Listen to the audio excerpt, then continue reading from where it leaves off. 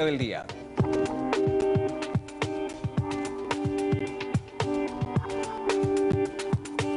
El general de hierro en los años de plomo hizo una fuerte reivindicación del operativo Independencia contra la guerrilla en Tucumán. En su declaración ante el tribunal que lo juzga por la desaparición del ex senador Guillermo Vargas Ainaz en 1976, el general Antonio Domingo Bussi habló de una guerra contra terroristas marxistas-leninistas. Bussi leyó un largo texto titulado La guerra en Tucumán, 1976-1977. Lo que realmente, señor presidente, llama mi atención, hasta constituirse, a mi juicio, en una aberración jurídica, la omisión sistemática, deliberada, arbitraria e intencional del marco histórico de la guerra para aniquilar la agresión marxista-leninista que tenía lugar en la casi totalidad del territorio nacional. En su larga exposición, el hoy anciano general de 82 años lució dos facetas antagónicas.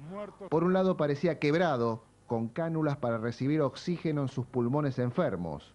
En tres oportunidades lloró, desdibujando el estereotipo del comandante inconmovible y acerado. Siento ser una víctima del rencor y la venganza por los derrotados de ayer en los montes y en las urnas tucumanas.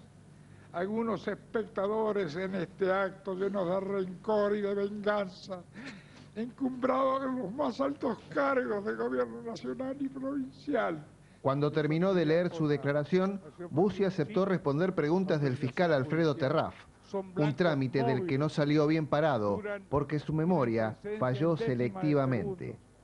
¿Quién le dio la orden a usted para detenerlo a Vargas Ainace? La orden me llegó vía comandante al tercer cuerpo por la Junta de Comandantes en Jefe.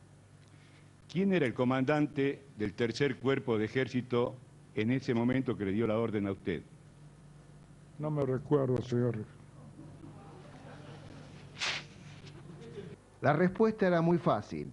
El comandante del tercer cuerpo del ejército era Luciano Benjamín Menéndez. Bussi lo tenía a un metro. Las preguntas terminaron cuando el general dijo estar cansado. ¿Tenía conocimiento la justicia provincial o federal de su funcionamiento? Era de competencia exclusiva y excluyente del ejército, señor fiscal.